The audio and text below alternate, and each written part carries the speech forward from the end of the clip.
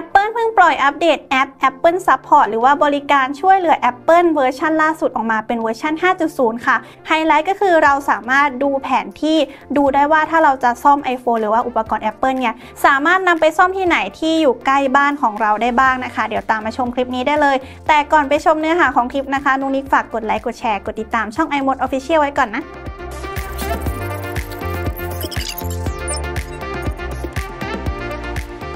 ก่อนอื่นนะคะให้เข้าไปอัปเดตแอป Apple Support ในแอป App Store ก่อนนะคะ ก็เข้าไปที่ App Store เลย แล้วก็ค้นหาคำว่าบริการช่วยเหลือ Apple หรือว่า Apple Support นะคะ เราก็จะเจอกับแอปนั้นค่ะ นี่นะคะ เข้ามาบางคนนะคะอาจจะไม่เห็นตัวเลือกในการอัปเดตให้ดึงจอลงมา เพื่อเป็นการ refresh รอบนึง แล้วพออัปเดตเสร็จแล้วนะคะ ก็สามารถเข้าไปใช้งานแอปได้เลยค่ะ พอเปิดแอปมานะคะ เราจะมาเจอกับแอปที่มีหน้าตาที่เปลี่ยนไปเล็กน้อยนะคะ เพราะว่าเขามีการปรับปรุง layout ให้ผู้ใช้อย่างเราเนี่ยสามารถใช้งานได้ง่ายขึ้นค่ะ แล้วที่ด้านล่างนะคะ มีการเพิ่มแท็บเข้ามา เราจะเห็นแถบตรงกลางนะคะ เมนูตรงกลางเนี่ยตำแหน่งที่ตั้งอันนี้ก็คือไฮไลท์ของเวอร์ชันนี้เลยนะ พอเรากดไปนะคะเขาก็จะทำการหาศูนย์บริการ Apple หรือว่าศูนย์ที่เป็นตัวแทนที่ได้รับอนุญาตจาก Apple นะคะ ที่อยู่ใกล้บ้านเรา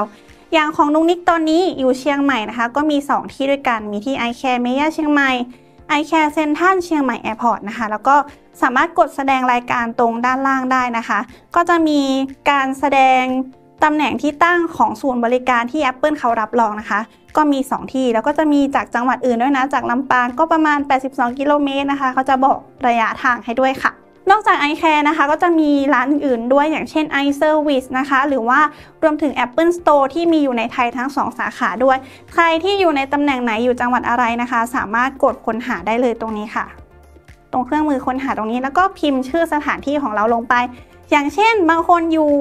นครราชสีมา ก็สามารถพิมพ์ชื่อจังหวัดลงไปได้เลยค่ะ นี่ก็เลือกเป็นอันนี้นะคะ แล้วเขาก็จะแสดง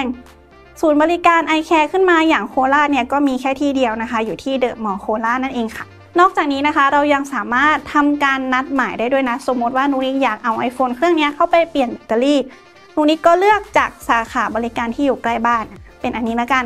จากนั้นนะคะก็กดตรงนี้ได้เลยนัดหมายตรงนี้ค่ะ แล้วเราก็เลือกอุปกรณ์ Apple ที่เราต้องการจะซ่อม เป็น iPhone เครื่องนี้ นี่นะคะ แล้วก็แตะที่บริการแบตเตอรี่ เขาก็จะให้เราตรวจสอบประสิทธิภาพการทำงานของแบตเตอรี่นะคะ ถ้าใครที่มีแบตเตอรี่ต่ำกว่า 80%เนี่ยเขาก็จะแนะนำให้เราเข้าไปเปลี่ยนแบตก็จะมีราคาการเปลี่ยนแบตเตอรี่บอกนะคะ แล้วก็จะมีตารางวันนัดหมายขึ้นมาให้เราค่ะ นอกจากแผนที่ที่เป็นไฮไลท์ของแอป Apple Support เวอร์ชันนี้นะคะ เขายังมีการอัปเดตให้คนในเวียดนามเนี่ยสามารถใช้แอปนี้ได้ แล้วก็รองรับภาษาเวียดนามด้วย และที่สำคัญนะคะ มีการแก้ไขบั๊กต่าง ๆ ในแอปนี้เพื่อให้แอปนี้ทำงานอย่างมีประสิทธิภาพมากขึ้นค่ะ นี่ก็เป็นการอัปเดตล่าสุดนะคะของแอป Apple Support เวอร์ชัน5.0 ค่ะ ใครที่มีอยู่ติดเครื่องนะคะ ก็อย่าลืมไปอัปเดตกันด้วย เพราะว่ามีประโยชน์มากๆเลย ถ้าเกิดว่าเราอัปเดตแล้วเราดูแผนที่จากในแอปเนี่ย เราก็ไม่ต้องสงสัยเลยว่าเอ๊ร้านไหนเป็นตัวแทนจาก Apple จริง ๆ หรือเปล่านะคะ เพราะว่าการที่เรานำไปซ่อมกับ Apple เนี่ยเราจะได้อะไหล่แท้ แล้วก็จะได้ซ่อมกับช่างผู้ที่เชี่ยวชาญชำนาญการนะคะ ซึ่งเขาได้ไปฝึกอบรมกับ Apple มาแล้ว แน่นอนว่าอุปกรณ์ของเราปลอดภัยหายห่วงแน่นอนค่ะ คลิปนี้นุนิกก็มาอัปเดตให้ฟังเพียงเท่านี้นะคะ ถ้าชอบคลิปนี้เนี่ยฝากกดไลค์หรือว่ากดแชร์ไปให้เพื่อนดูด้วยก็ได้ค่ะ คลิปนี้นุนิกขอลาไปก่อนค่ะ สวัสดีค่ะ